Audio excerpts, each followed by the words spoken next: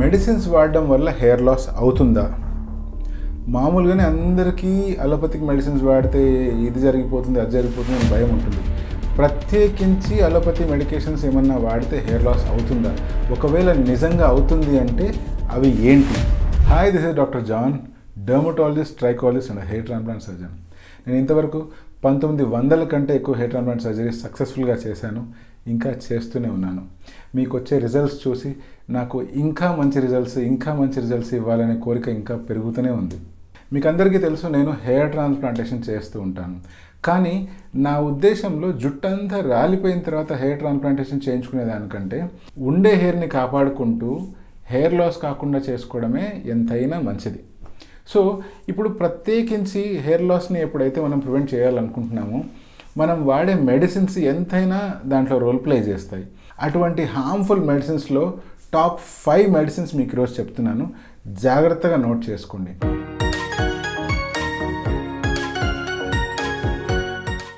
ఇప్పుడు ఈ మెడిసిన్స్ గురించి నేను చెప్తున్నప్పుడు అర్థము మీకు ఏదైతే ఆ ప్రాబ్లం వచ్చింది అంటే అప్పుడు ఆ మెడిసిన్స్ వాడొద్దు అని కాదు. అటువంటప్పుడు ఆ మెడిసిన్స్ ఇచ్చిన టైం వరకే వాడి దాని తర్వాత ఆ మెడిసిన్స్ సాధ్యమైనంత త్వరగా ఆపేసి మళ్ళీ మీ డాక్టర్ దగ్గర కనుక్కొని అది వాడాలి తప్పదు అని తెలిస్తే మాత్రమే వాడాలి. సొంతంగా కూర్చొని వాడకూడదు. అది నేను చెప్పాలనుకున్న ఉద్దేశం. ఇప్పుడు ఈ టాప్ ఫైవ్ మెడిసిన్స్లో మొట్టమొదటిది ఏంటి అంటే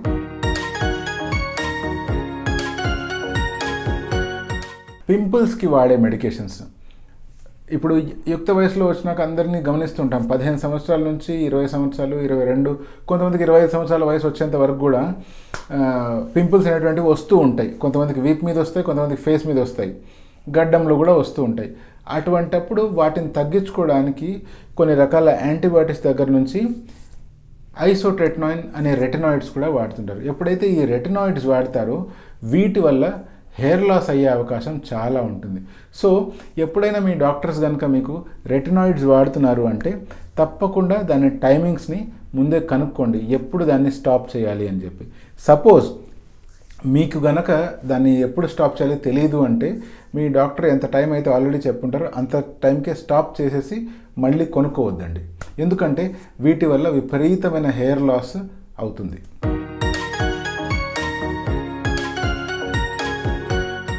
రెండోది ఏంటి అంటే ఇన్ఫెక్షన్స్ కామన్గా అందరికీ ఏదో ఒక చిన్న చిన్న ఇన్ఫెక్షన్ వస్తూ ఉంటుంది. అది బ్యాక్టీరియల్ ఇన్ఫెక్షన్ అంటే చిన్న చిన్న కురుపులు కావచ్చు లేదా ఫంగల్ ఇన్ఫెక్షన్స్ గ్రాయిన్స్లో కావచ్చు లేకపోతే స్వెట్ ఉన్న ఏరియాస్లో కావచ్చు లేదా ఇంకేదో రకమైన ఇన్ఫెక్షన్ ఏదైనా కావచ్చు. వీటి కోసం మనం ఏమి వాడతాము అంటే యాంటీ బ్యాక్టీరియల్స్ వాడతాము యాంటీ ఫంగల్స్ కూడా వాడతాం సో ఇవి వాడినప్పుడు దీనికంటూ ఒక కోర్స్ అనేటువంటిది డిసైడ్ చేసి ఉంటారు.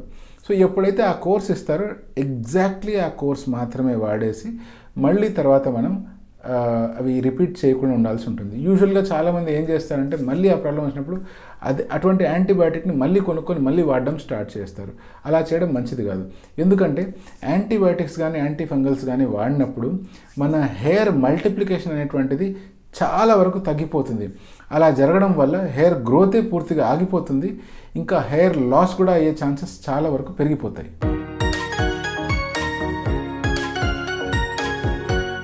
మూడోది ఏంటి అంటే స్టీరాయిడ్స్. ఈ స్టీరాయిడ్స్ పదం వెంటనే భయంగా ఉంటుంది. ఇవి చాలా భయంకరమైన డ్రగ్స్. ఇన్ఫ్యాక్ట్ దీన్ని వండర్ డ్రగ్ అని కూడా అంటారు. అంటే ఎటువంటి ప్రాబ్లంకైనా సరే మెడికల్ షాప్లో కనుక మీరు వెళ్ళి అడిగారు అంటే మీకు ఫస్ట్ ఇచ్చేది ఒక స్టీరాయిడ్ చేతిలో పెట్టి పంపించేస్తారు. అండ్ మీరు ఎప్పుడైతే అది వాడతారో వాడిన వెంటనే మీకు రిజల్ట్ వచ్చేస్తుంది. అది స్కిన్ ఇన్ఫెక్షన్ కావచ్చు లేదా ఇంకేదైనా ఫీవర్ సంబంధించిన ఇష్యూస్ కావచ్చు ఏదైనా బాడీ పెయిన్స్ అయినా కావచ్చు ఏదన్నా సరే ఎప్పుడైతే ఈ స్టీరాయిడ్స్ వాడతారో మీకు చాలా వరకు రిలీఫ్ వస్తుంది. అండ్ ప్రాబ్లం ఏంటి అంటే ఆ రిలీఫే మనకు ప్రాబ్లం ఆ రిలీఫ్ వల్ల మనం దానికి అడిక్ట్ అయిపోతాం. రెండోసారి కూడా మళ్ళీ అదే మందు తెచ్చుకొని వాడుతూ ఉంటాము. వాటి వల్ల రకరకాల సైడ్ ఎఫెక్ట్లు వస్తాయి. ఇన్ఫ్యాక్ట్ చాలామంది ఈ స్టిరాయిడ్స్ని బాడీ బిల్డింగ్ కోసం కూడా వాడుతూ ఉంటారు. సో ఈ స్టీరాయిడ్స్ వల్ల ఎన్నో సైడ్ ఎఫెక్ట్స్ వస్తాయి బాడీలో బట్ మనం హెయిర్ గురించి మాట్లాడుతున్నాం కాబట్టి హెయిర్ లాస్ మాత్రం విపరీతంగా అవుతుంది. కొంతమందికి బాల్డ్ అయిపోయేంత స్టేజ్ వరకు కూడా హెయిర్ లాస్ వచ్చేస్తుంది. ఎందుకంటే ఇవి మన బాడీలో హార్మోనల్ స్టేటస్ని కంప్లీట్గా మార్చేస్తాయి కాబట్టి. సో స్టీరాయిడ్స్తో చాలా జాగ్రత్తగా ఉండండి. మీ డాక్టర్స్ ఎప్పుడైతే స్టీరాయిడ్స్ మీకు ఇస్తారో అవి ఒక లిమిటెడ్ టైం కోసం ఇస్తారు. అండ్ ఈ స్టీరాయిడ్ మెడికేషన్ ఎప్పుడైతే ఆపుతారో అప్పుడు కూడా టేపర్ చేస్తారు. టేపరింగ్ అంటే సపోజ్ స్టార్ట్ చేసేటప్పుడు ఒక పెద్ద డోస్ ఒక ట్వంటీ ఎంజీతో స్టార్ట్ చేశారు అంటే స్లోగా టెన్ ఎంజీకి తీసుకొచ్చి మళ్ళీ దాన్ని ఫైవ్ ఎంజీ మళ్ళీ దాన్ని టూ పాయింట్ ఫైవ్ ఎంజీకి తీసుకొచ్చి అలా టేపరింగ్ డోస్ చేస్తారనమాట అలా దాన్ని ఆపవలసి ఉంటుంది. అలా మీ డాక్టర్ మీకు ఎలాగైతే చెప్తారో అలాగే స్టాప్ చేయండి. అప్పుడే ఇది సేఫ్ అలా కాకుండా సొంతంగా ఎప్పటికీ కూడా స్టీరాయిడ్స్ మీరు వాడొద్దు.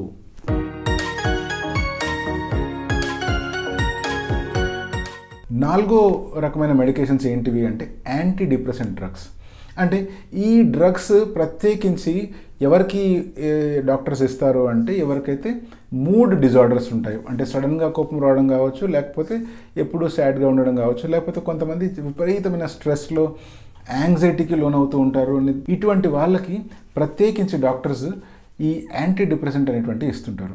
కానీ ఈ యాంటీ డిప్రెసెంట్స్ మరీ ఎక్కువగా వాడినట్లయితే డెఫినెట్గా హెయిర్ లాస్ అవుతుంది. సో చాలా జాగ్రత్తగా ఉండాలి. ఒకవేళ హెయిర్ లాస్ అర్లీగా స్టార్ట్ అయింది అంటే ఇమీడియట్గా ట్రీట్మెంట్ స్టార్ట్ చేయడము అండ్ మీకు ఇచ్చిన డ్రగ్స్ని మార్పించుకోవడము అనేటువంటిది మనం డాక్టర్ని కనుక్కొని అది చేసుకోవాల్సి వస్తుంది.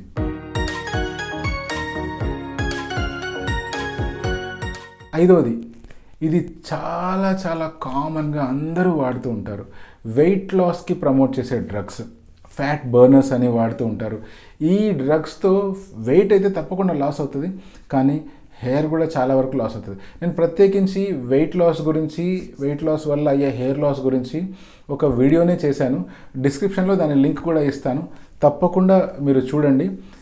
వెయిట్ లాస్కి వాడే డ్రగ్స్తో చాలా వరకు హెయిర్ లాస్ అవుతుంది. సో వెయిట్ లాస్ ఎప్పుడైనా కూడా హెల్దీ వెయిట్ లాస్ని చూస్ చేయండి. మీ డైట్ని కంట్రోల్ చేసుకోండి. ప్రాపర్గా ఎక్సర్సైజ్ చేయండి. ఈ రెండు ఎప్పుడైతే బ్యాలెన్స్డ్గా చేస్తారో అప్పుడే మీకు హెల్దీ వెయిట్ లాస్ అవుతుంది. అదర్వైజ్ డెఫినెట్గా సైడ్ ఎఫెక్ట్స్ వస్తాయి.